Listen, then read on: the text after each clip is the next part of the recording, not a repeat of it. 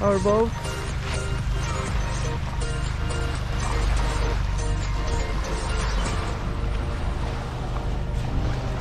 This one is also nice, this island.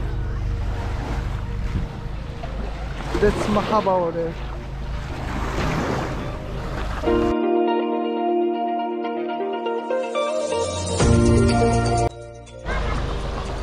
Well, that's it for Mahaba Island.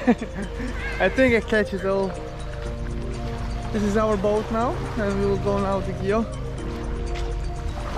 The Gio is the smallest, also not residential, and my favorite.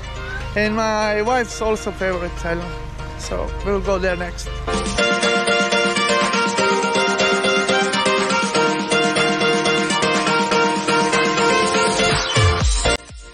in Digyo Island and we will, we will find a cottage now. Hello!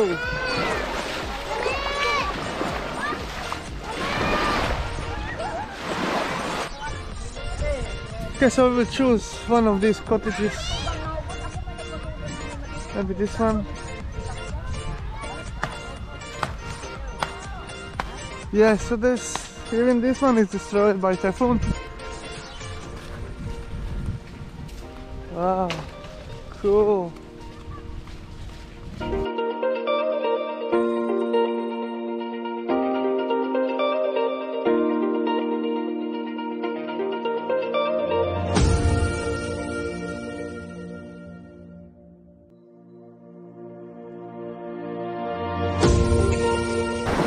Beautiful.